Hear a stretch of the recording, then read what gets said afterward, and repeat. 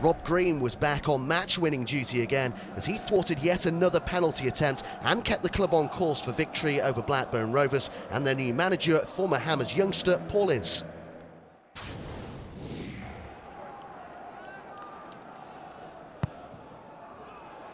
Davenport's up and scores!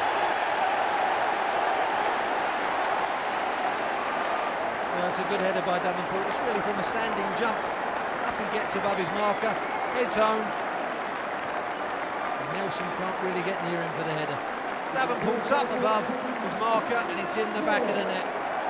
Not the start Paul Ince wanted. He's looking for the runner Faubert. And he uses his pace very well. Get away from Warnock. The support's arriving. Noble. And Ashton! Flag stays down. It's 2-0 to West Ham. And was Onside from the time of the shot, but for me, he looks like an OG from Samba. Roberts, lovely spin. Roberts to score here. Oh, it's a great response from Blackburn. What a turn that was from Jason Roberts. And what a first half we're seeing here.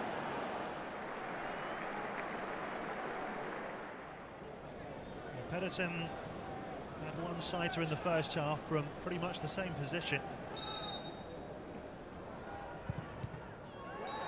Retakes it this time, and handball penalty. Handball in the wall, and Mike Riley gives Blackburn a penalty within two minutes of the restart. Roberts against Green. He saved three penalties last season, and he saved another one here. Magnificent goalkeeping.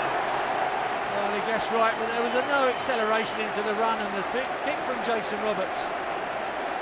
Acceleration at all. Rob Green goes down. It's a great save, but not the greatest of strikes, to be honest, from Jason Roberts.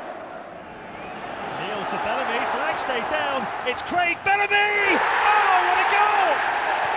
And what a return for Craig Bellamy!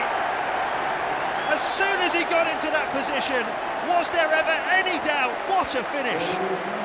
Robinson's got no chance. Welcome back, Craig Bellamy. A yellow card and a goal.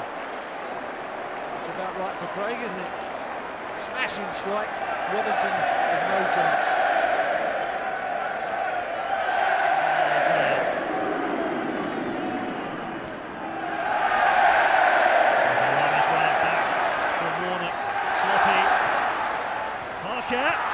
And Cole!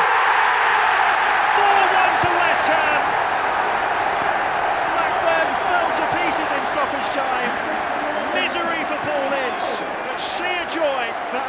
lavishly of West Ham.